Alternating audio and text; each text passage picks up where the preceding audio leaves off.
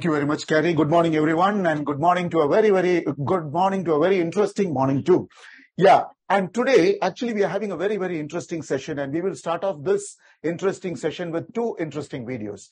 So, can I have the first video, please?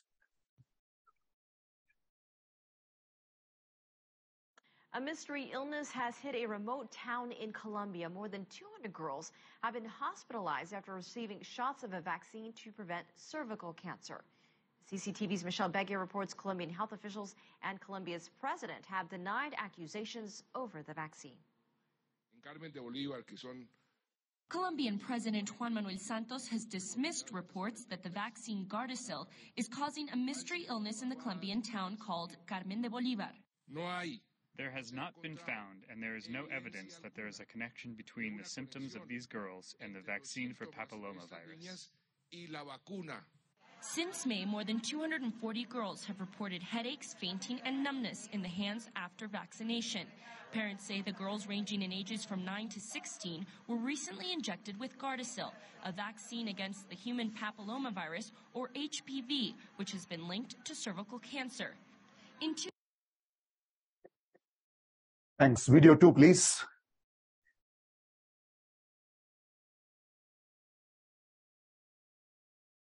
Story now, the health ministry has ordered a probe after four infants, all below nine months, died near Lucknow after they were vaccinated for measles.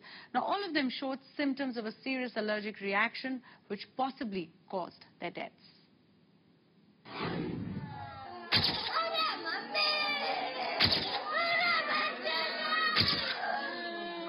Minutes after they were given the measles vaccine, four infants, Kumari, Sanya, Rekha and Sahil, fell seriously ill.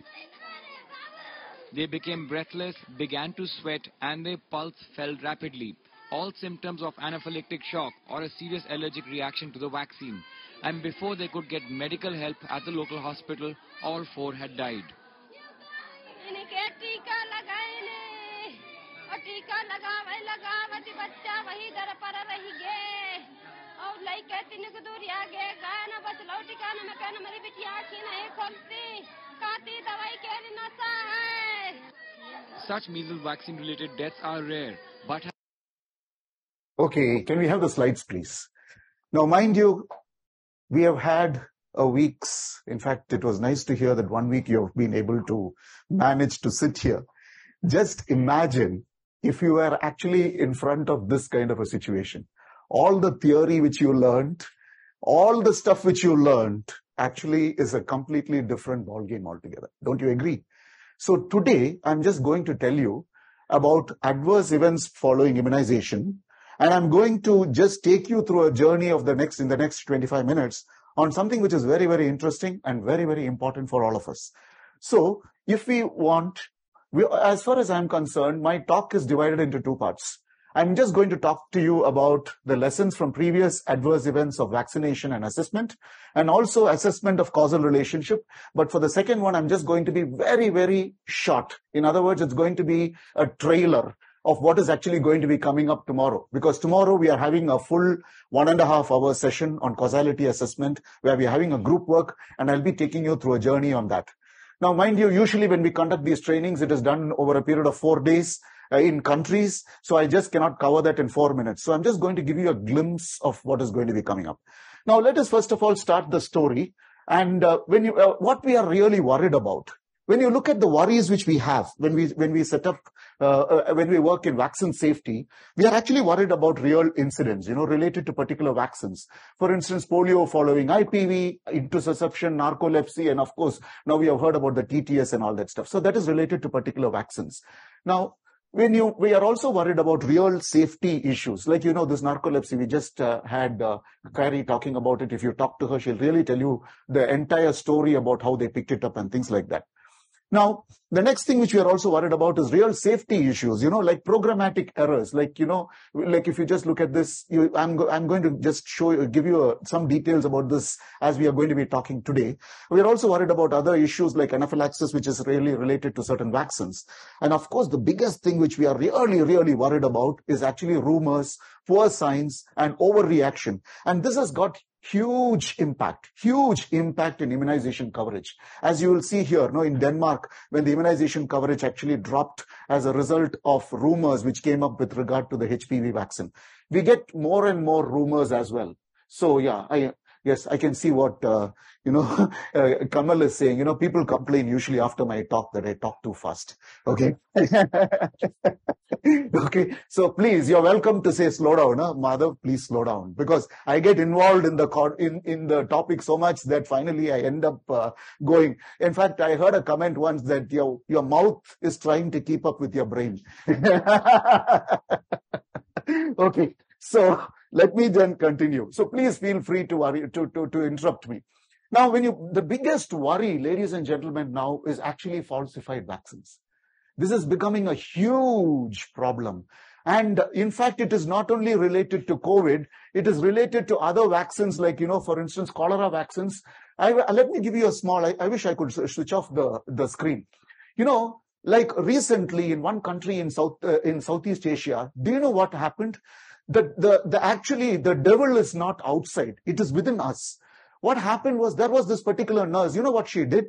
She visited her friends, nurses in the hospitals. And when she visited them, she just made only, she, you know, after the general conversation, she just tells them only one thing. She just tells them, you know, when this pentavalent vaccine comes in, no, just, you know, don't throw that empty vial into the dustbin. Just take it and give it to me. So she and her husband collected that vial in the evening and not in the evening, maybe once a week, they make a circle around the hospital, collect that vial, and then the, the, the vial is again circulated back into the hospitals. You understand what I mean? It is refilled and circulated back into the hospitals. And when it is refilled and circulated back into the hospitals, for your information, do you know what happened? The, this, this went on not for one year, two years, gentlemen. It went on for 13 years. And by do you, do you know how it was picked up? It was picked up not by surveillance systems. It was actually picked up by the income tax department. Do you know how? Because they made so much amount of money. They made so much amount of money that she didn't know what to do with it. And it was, she started posting pictures on Facebook and, and uh, in social media, you know, huge cars, big houses. And then the income tax department came back and then they caught her. And imagine all the kids who are vaccinated. And mind you, this was done in the private sector. It was not done in the government sector. And what does the private sector doctor say? The private sector doctor goes and says, you know, if you give the government uh, sector vaccine, they gave whole cell pertussis vaccine, which has got more AEFIs compared to the acellular pertussis, which we are giving. You understand? So in other words, you are actually promoting without knowing the fake vaccines yourself. So you should be extremely careful about this when you're actually doing your work right now. Now, this is something which is very, very important. If there is one take home message which I want in this particular session, it is this particular thing. It's very important for you to understand this. Now, let us look at what is an AEFI. Now, an adverse event. I'm, I'm actually very glad that, uh, you know, my session was preceded by a session by Dr. Narendra Arora, where he kind of talked to you about the biological mechanisms and also how does an adverse event occur. I'm, what I'm going to tell you is the impact of the adverse events. And for, and also I'm going to tell you techniques of actually convincing people and also being very clear on when you develop your guidelines and things like that, how to handle it. Now, first of all, when you look at it, what is an adverse event following immunization? So it is any untoward medical occurrence which follows immunization and which does not necessarily have a causal relationship with the usage of the vaccine, right? Can you tell me which is the most important part of this definition? Absolutely right, because that's in italics as well, right? so it does not necessarily have a causal relationship with the usage of the vaccine. Okay, now Again, no, let me, I, will just go proceed the slide with just one more slide. That is important because if you look at the, re, the reason why it's so important is, if you look at the previous definition, this was used until 2004. In, uh, okay, this was the definition which came up in 2004. The previous definition which I showed you came up in 2012. Now, this definition, this pre previous definition had a major problem that the earlier definition was an adverse event following immunization is a medical incident that takes place after immunization, causes concern, and is believed to be caused by immunization. You understand? Now, when this particular definition is put up into your guidelines, what happens? Any event which occurs after vaccination and you think is due to vaccination is because of vaccination. So, in other words, here, look from the legal perspective, the vaccine is guilty until proved innocent.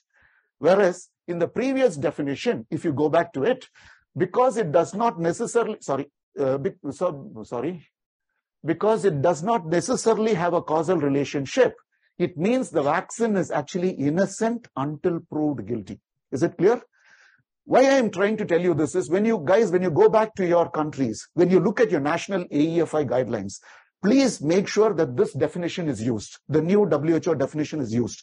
Because I have actually seen countries where there have been litigations and legal problems which have occurred mainly because the wrong definition was actually used. Okay. So keep that in mind. Now, this again, adverse event may be, and sorry, I'm actually, I need to get used to this uh, thing. Okay. It may be an un, uh, it may be an unfavorable or an unintended sign, an abnormal lab finding, symptom or disease. So what is the meaning of the word? Each word you must understand very clearly. What is the meaning of a symptom? A symptom is something which a patient comes to you with, right?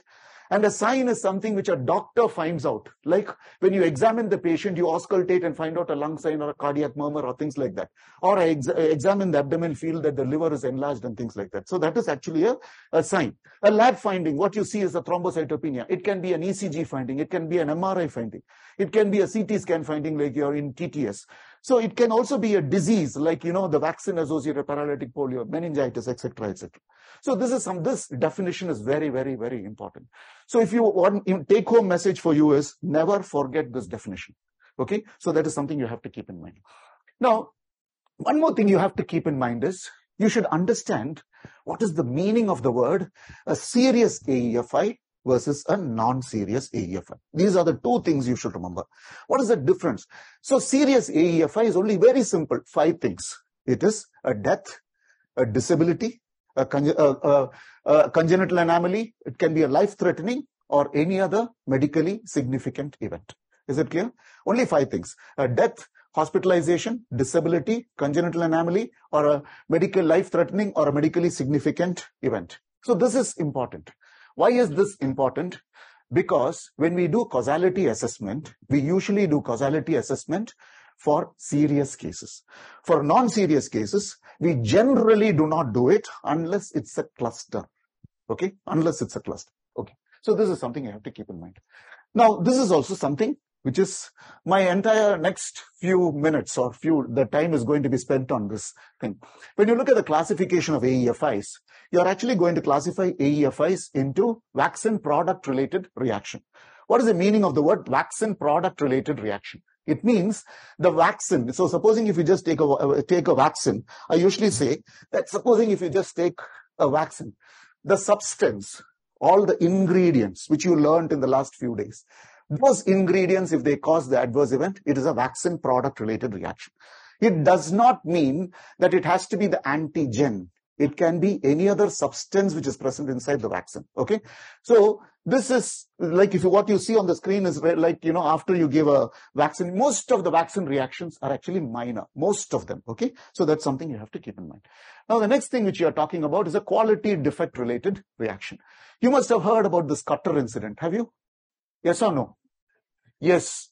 Okay, if we had time, I would have discussed more. But just for your information, you know what happened in, in the 1950s? You know, the better vaccine, the vaccine which was used at that time was the IPV. And IPV, as you all know, is much more better in terms of immunogenicity. But unfortunately, what happened was in 19, 1955, uh, when you when IPV was was prepared in the Cutter laboratories in Philadelphia, actually in, in Berkeley, sorry, in Berkeley in California, what happened was they the vaccine was not properly inactivated. And children were actually given the wild wild virus and were injected with the wild virus. It actually was uh, 120,000 kids were vaccinated, 40,000 developed mild polio, 400, 200 were paralyzed and 10 of them died. Now, what you see here is, can any of you tell me what this one is? It's an immunization error related adverse event. What happened? Any guesses? Sorry? BCG related abscess. Okay. What has happened is you should also always remember, if you see, when you choose your needle and also the for injections, you should choose the correct needle. You should administer it at the correct angle. You should also make sure that the route of administration is correct what is to be given as an intradermal injection was actually given subcutaneously or intramuscularly. So six months later, not even immediately, the, the child developed axillary lymph nodes enlargement. It burst open and what you're seeing is actually an abscess which burst open and caused this problem. You understand? So this is an immunization error related adverse event which occurs because of improper vaccine handling, prescribing or administration. Now this is an immunization anxiety related reaction. Okay, you, yeah, it, looks very funny, but you just look at the facial expressions. Huh? This, these guys are beginning to laugh. He becomes serious, serious, and then he starts screaming. Now, mind you, the problem is, the problem is, this is a, this, let me tell you something very honest. I have a, a few slides on this. It's becoming a major problem with COVID. Why? Because earlier when you look at vaccines, it used to be given for kids, small kids, right? And it is given for kids who are babies. So supposing you carry a baby and go for vaccination, if it is even DTP or, uh, you know, usually give it at 6, 10 and uh, uh, uh 14 weeks. So the, uh, you know, the baby is on the mother's arms. You just give the, the baby gets a vaccination, ah, and then afterwards it stops. You understand? But now with teenage girls and teenage boys watching the vaccination, especially HPV vaccines, we have had clusters of cases where, you know what, what has happened? People have actually taken, uh, as a child is fainting, they take the mobile phone, take the video and it is circulated throughout the whole school. You understand? And when the next kid is coming, the kid is actually apprehensive. And then if an ambulance comes, there is a video of the ambulance which goes into social media. And actually you start getting clusters of ISRR, immunization stress related responses. We have had clusters in countries which are far away from one another. So there might be an immunization, mass immunization campaign conducted throughout the country, but you will get a cluster of AEFIs in the northern part and the western part and things like that. So we have had major instances like that. Okay. Now this is the, so this is an ISRR. Then we have a coincidental event. Like what you do is you develop a fever uh, post vaccination, you develop fever and then convulsions. And then when you actually go and check, then what you find is you actually find that it is because of a malarial parasite. You understand? Or uh, so let us quickly look at this. I'll just give you some very typical examples. Now, when you look at it, I told you, know, when you look at AEFIs, we are, let us, I told you what is a serious AEFI and a non-serious AEFI. Now, in the serious AEFIs, we are worried only about serious AEFIs primarily, okay? Now, if you look at it, I, since I'm not going to ask you questions because we don't lack time, I can still see I'm having only short time left. Now, how do you classify that? So most of them are actually immunized. When you investigate, you find them, most of them are immunization error related adverse events. Number three. But you find to a lesser extent, I would put number four and five equal. Like, you know, even nowadays we get more amount of immunization anxiety related reactions, ISRR. And also coincidental events are coming up in equal measure nowadays. But earlier it used to be more coincidental and less ISRRs. Then the next highest would be vaccine product related reaction and quality defect related reactions. So let's quickly go through some examples. I really, um, mainly because I'm lacking time. Sorry, I'm fast. Okay. I can, I have lots of stories to tell. So this one, for instance, in fact, I was involved in this investigation in Syria. What happened was, if you just look at Syria, you know, the, the, the, this thing is going on. No, the war in Syria was going on a few years back. Okay. So in 2014, when this event actually took place, what was happening was something very, very sad, very sad. The hospitals used to get, the planes used to come and bomb the hospitals. So uh, there are refugee camps around the hospitals. You understand? And when the planes used to come and when mothers want to get the kids immunized. So what, what they do is they take the kids for, to the hospital for immunization. But because the hospital is being bombed, what used to be happening was, so there used to be a hospital in the middle, let us say in the middle. And around that, they used to keep some small tents. So used to have immunization camps which are conducted in the tents around the hospital. You understand what I mean? So when the planes used to come and bomb, they may bomb the hospital, but not the tents. And that's how they escape. Now, what happened was on this particular time in September, this uh, kids were brought, you know, in measles comes in 10 dose vials, right? It comes in freeze-dried 10 dose vials. So once they reconstitute, they actually expect so many kids to come and stand in the queue to get vaccinated. So when they were actually standing in the queue to get vaccinated, you know what, what was happening? The kids get vaccinated. So there is a tent. The mothers go into the stand in the queue, get vaccinated. And as soon as they, they are all interested in getting out of the, getting out because of the bombing. As soon as they get out, the kids die in their arms. Can you tell me what happened? The kids, as they get out of the tents, the children are dying in the arms of the mother. And that is why I, if you, when I went for the investigation, it is definitely more than 34. It is more than 50 kids who died on that day. Can you tell me what happened? Okay, we, let's not argue. the, the, the, what happened was the diluent was actually replaced with atracurium. You understand? You understand? So the children devil suffocated to death and died. Okay, so this, and do you know the reason for that? It is don't blame the health workers. Do not blame the health workers. When we investigated, we found out that the, that the labels are in English. The health workers can't read. You understand? It is as simple as that. So something which is something very, very simple like that can cause huge number of impact. So remember, when you are running your programs, look into details, look into pro, uh, look into issues. In this one, 15 children in Sudan, actually because of untrained vaccinators. It is not untrained vaccinators, ladies and gentlemen, who died in Sudan, who did the vaccination. Do you know what happened? Money was given to the government. The government then went and like what we do for microplanning, no? We do microplanning and then we do this, we pay money to the local guys to do the thing.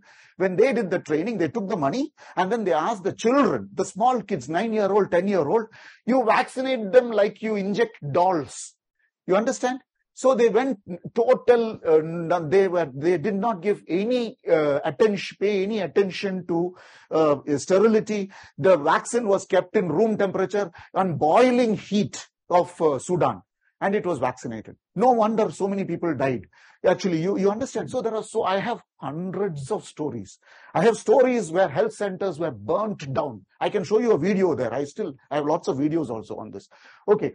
Now, in this case, in, when this is actually a, a, very sad death which occurred in the southernmost tip of Sri Lanka. What happened was at that point in time, the, the, you know, this child was a part of a school health program, was vaccinated. Okay. In, to make cut the long story short, the child was vaccinated.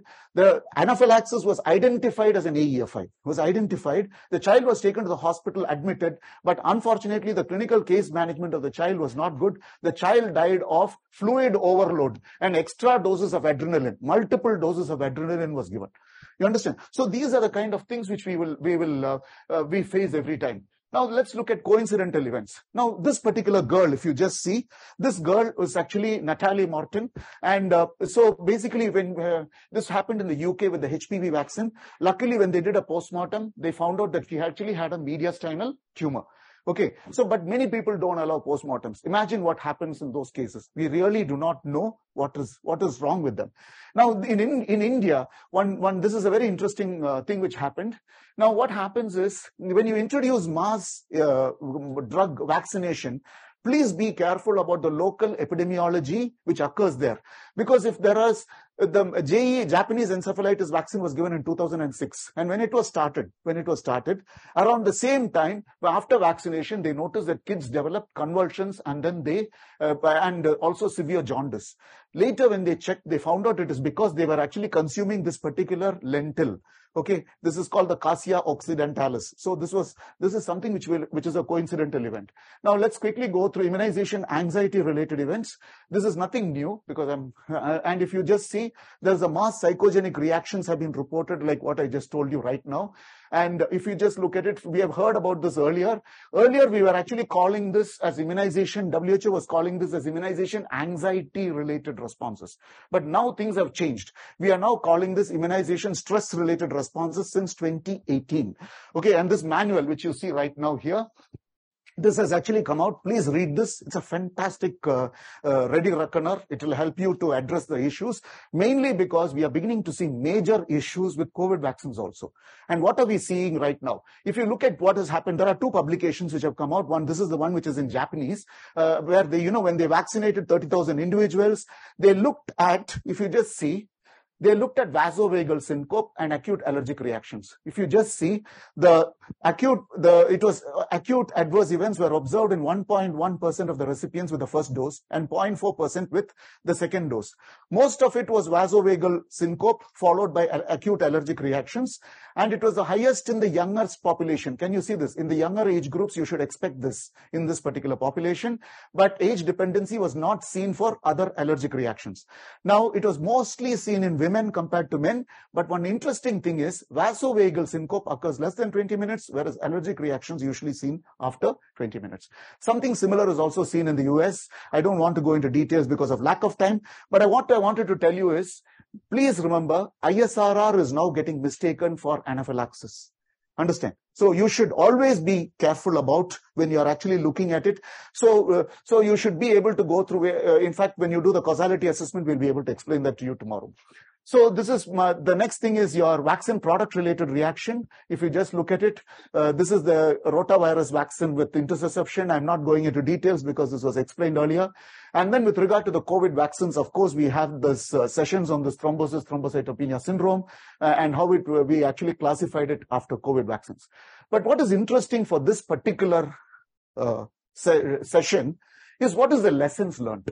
That is what we have to do. You see, from our perspective, we need to see what is when you what we normally do from the safety perspective is we balance the benefit risk and then we make an assessment.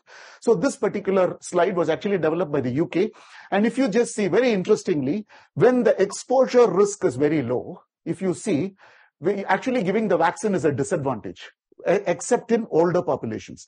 But if the exposure risk is very, very high, there is more benefits to giving vaccination compared to the risks. You understand? So if you are giving advice to, to the governments, it's important for you to balance the risk benefit analysis before you actually provide this uh, uh, sessions. So the last part of it is vaccine quality defect related reactions. Historically, if you see, this is not the first time if you just see vaccine quality defect related reactions have occurred. That is the Cutter incident. Okay. There are right from the time when rabies vaccine was first made to this Lübeck incident where, you know, TB, uh, you know, wild, uh, the TB bacteria was accidentally injected to the serum which contained uh, hepatitis B, you know, was injected. So that was been there. But one interesting thing is the Cutter incident was the last major incident. After that, we have not, uh, because of the stringent regulatory activity which is taking place, we are very, very careful to see that this doesn't happen. So that is my last part of the first part of my talk. Uh, so let me just quickly finish this by saying, this is the AEFI surveillance and trying to find out the cause. Okay. What you see here on the screen is the AEFI surveillance cycle. So basically we detect, we identify, notify, report, and we try to do causality assessment. So this is the this is identified by passive surveillance. Okay. So when the passive surveillance systems are picked up, are set up, this is how we kind of identify them and then we get them reported. Now, if you just look at it, when you want to find out the cause, we actually do something called the causality assessment. So usually the from the vaccines perspective, there are different causality assessment methodologies, you know, the French method, the Naranjo's method, but the two of them which for vaccines which are commonly used, one is actually the CISA method and the WHO method. Okay, if you click, so the CISA method is one which is uh, the clinical immunization safety assessment method used primarily in the United States. The WHO method is used in several low and middle income countries all over the world. What you see, the link which is there, will actually, I'm going to give a demonstration of this tomorrow during the training program. This is what it opens out. There is also an e-learning course which will help you to access the uh, uh, the e-learning course where you can learn it yourself in a three hours time approximately. And uh, this is uh, very, very useful for us. So this is what it is. This, when you classify cases after causality assessment, what we do is we classify cases into, uh, the, sorry, there is a, there is a spectrum by which we classify cases on one end of the spectrum, we say that that is consistent immunization. That means the vaccine and vaccination was responsible for the adverse event. So that is what you see in the red. And on the uh, other end, you have something called inconsistent causal association immunization. What do you mean by that? It means vaccine and vaccination was not responsible for the adverse event. And in between, we have a category called the indeterminate. Okay. So, I mean, we'll be going into this in detail tomorrow when we are having the discussion. There is also another category which is actually called unclassifiable, where even with enough information, we still don't know where to make the, uh, how to kind of categorize this. But most importantly, remember, before you do causality assessment classification, your uh, you must have adequate information if you have useless information your causality assessment will also be useless so thank you very much i'll stop there because of lack of time thank you bye bye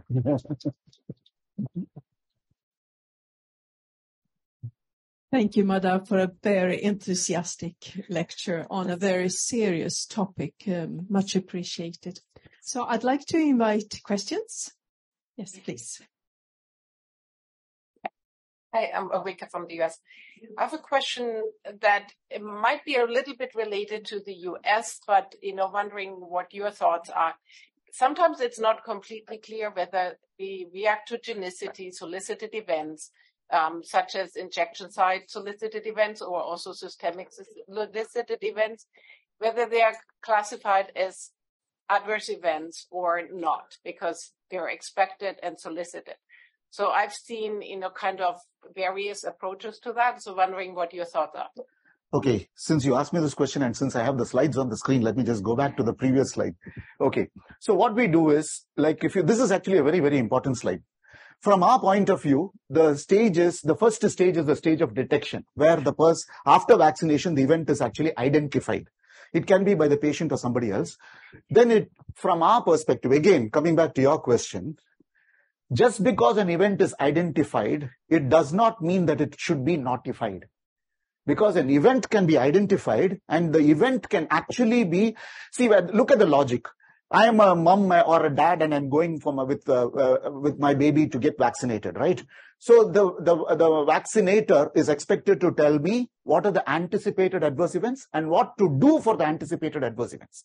So just be, so supposing during the what to do for the anticipated adverse events, you're told, you know, please expect pain, the child will be like this, you know, give paracetamol, all that, continue breastfeeding, keep the kid warm.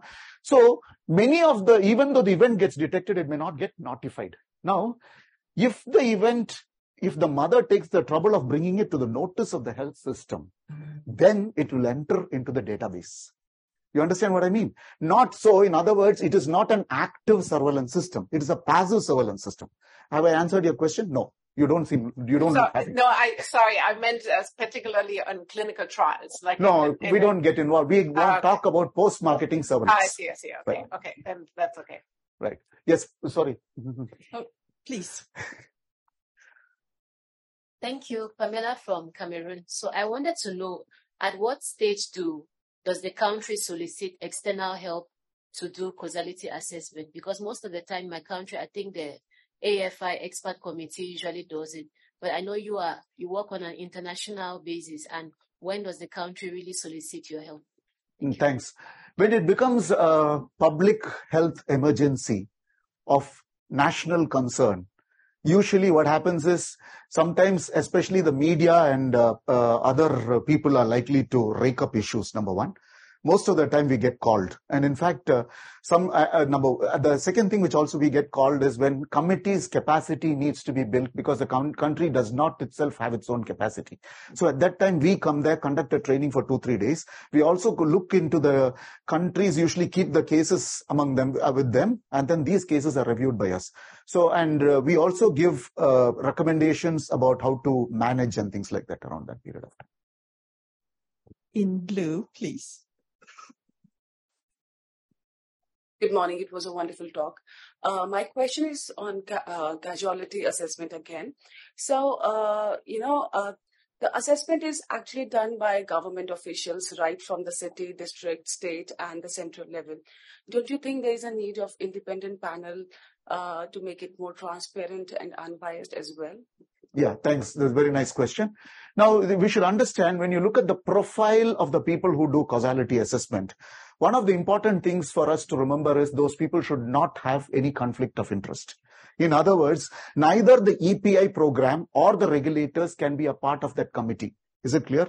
So what has to happen is the people who are there should be people like professors in a medical college and preferably independent who are not government employees because we want them to be a bit fair with what they do. Similarly, for instance, in India, you have the Indian Academy of Pediatrics, which is a pretty independent body. You have the Indian Medical Association. So similarly, you, in different countries, you have the different associations who also put in members for doing this to make sure that it is free, uh, freely done.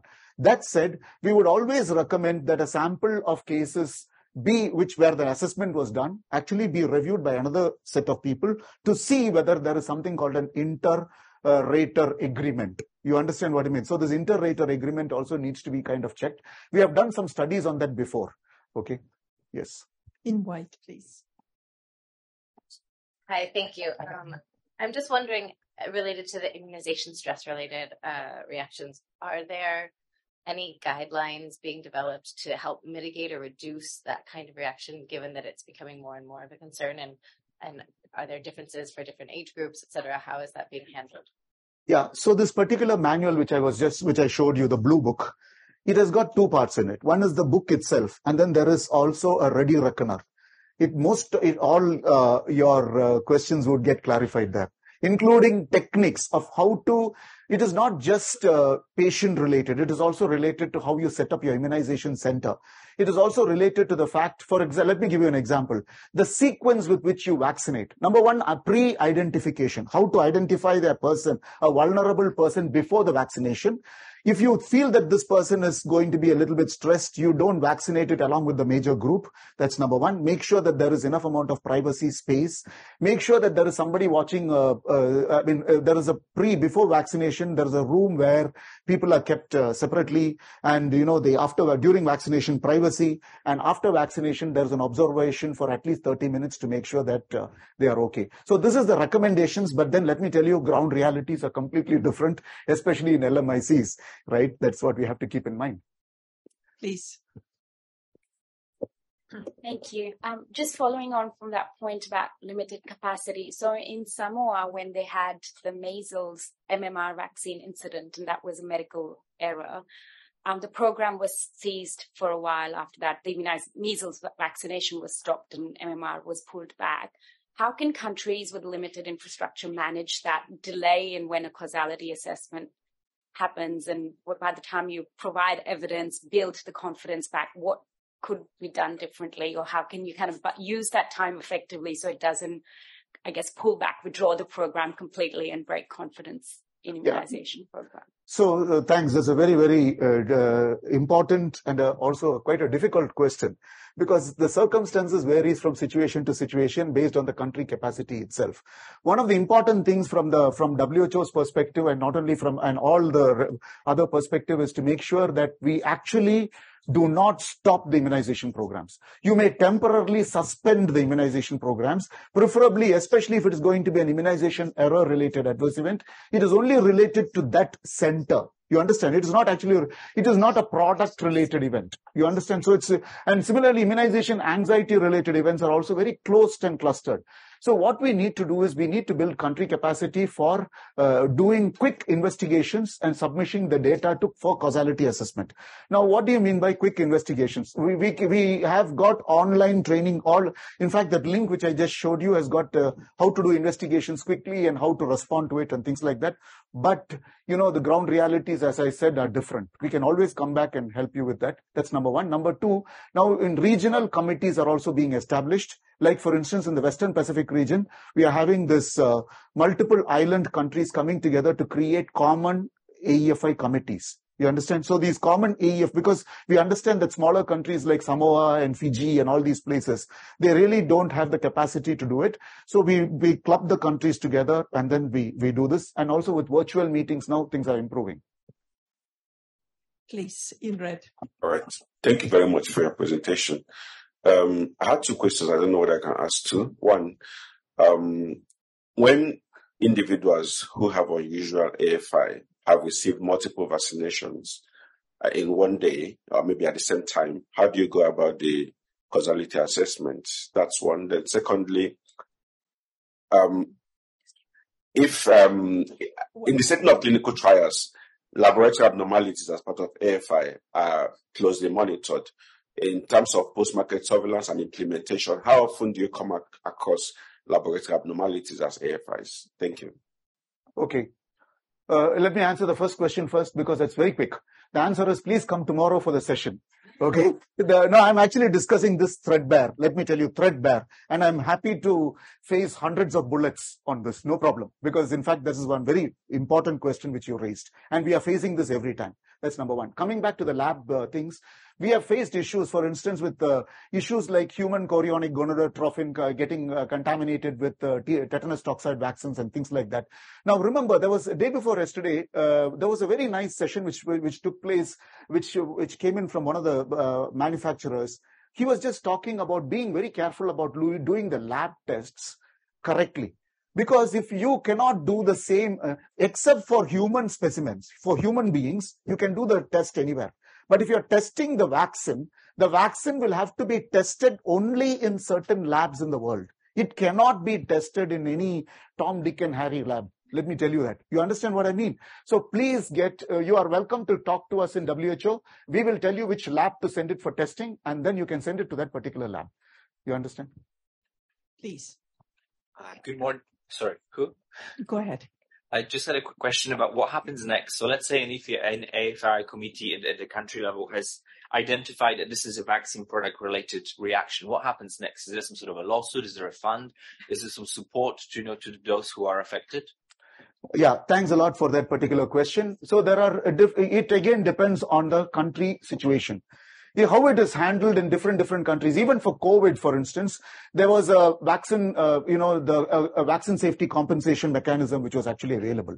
So that was again done at a global level. If you look at certain countries in the world, you'll be surprised. Even low and middle income countries, uh, and some of them are here as well. For instance, Nepal has got a vaccine safety compensation mechanism, but it doesn't mean that it is there in all countries. So if it is again, one more thing we should also remember is it depends on the classification and what is the policy taken by the government. For instance, they may decide to only compensate for product related events, may not compensate for coincidental events and things like that. Some people offer blanket compensation. So it varies from country to country depending on the country policies.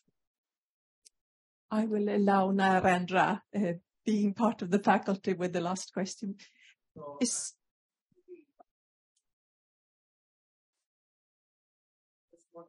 that uh, AFI is the uh, AFI is uh, AFI and AFI assessment is as complicated as the task of NITAGs. And I think at country level, the importance and the uh, visibility given to NITAGs and AFI committees, if it is given equal, then this uh, building in uh, local capacity becomes much easier and uh, investigation also because in India that's what we did that in India NITAG and AFI committees are given almost same importance and I think in this course also you have two and a half days for AFIs which just indicates the importance and the complications associated with the AFI. That's a comment. Thank you. Thank you so much, Narendra.